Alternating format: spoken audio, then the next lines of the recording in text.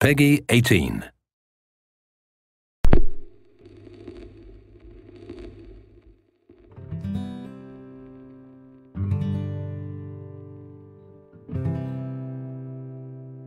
You can picture happy gatherings round the fireside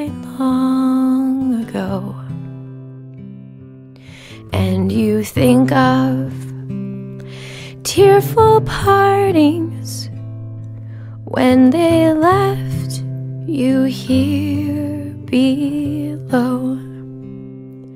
Will the circle be unbroken by and by?